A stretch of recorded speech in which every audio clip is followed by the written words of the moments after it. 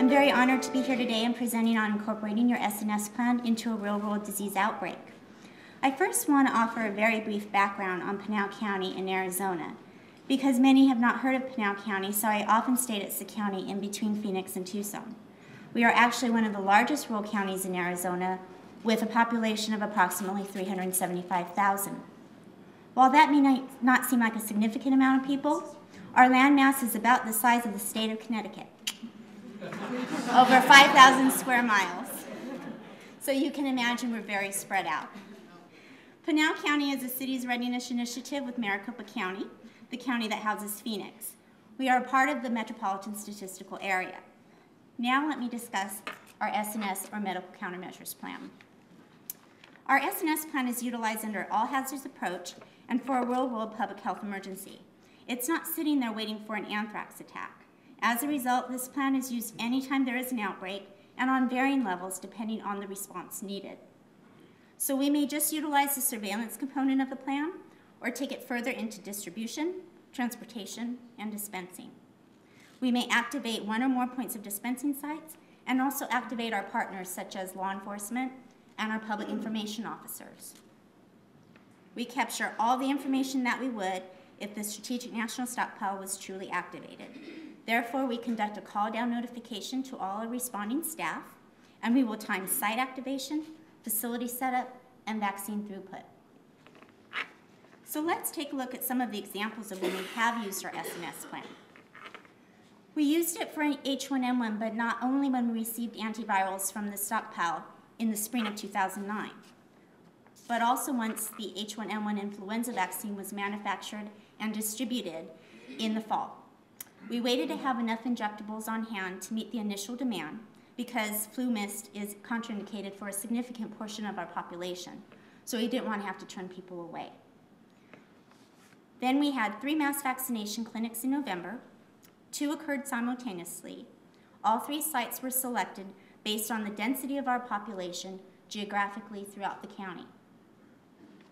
We also used our SNS plan for a preventative non-emergent situation. We, wait, we wanted to be prepared if we faced an incident similar to H1N1 again. We exercised our plan for a 12-day, 13-pod, back-to-school immunization event in the summer of 2010, when it's really hot. we, used, we used real vaccine on real people, but treated the whole multi-day event as a full-scale exercise. We were also able to assist the school districts throughout the county with getting their school populations vaccinated before the school year began. The last example of using our SNS plan is from a varicella outbreak at a local K-8 school in December 2010. We had six confirmed cases and another 400 potentially exposed because many of them had not had the second vaccine dose. Only one is required in Arizona. So now that I've given you some examples of when we have used our SNS plan, let me delve further into parts of the plan that we, we have utilized in these cases. For all three examples, we operated the security portion of our SNS plan. Our sheriff's office loves when we contact them for an exercise or an outbreak because it gives them the opportunity to train and the opportunity to apply law enforcement procedures to a public health response. It's another incident or scenario that they can be trained and ready for. Even if we are not transporting actual SNS, we are transporting additional supplies and materials to pod locations. Therefore, they can practice the escorting component of the distribution part of the plan. For all three examples, we also use the dispensing part of our plan. We pulled our pod site surveys, our pod layouts for each location. We also used our org charts, our job action sheets, our vaccine forms, our briefing templates, just-in-time training modules, all from our SNS plan.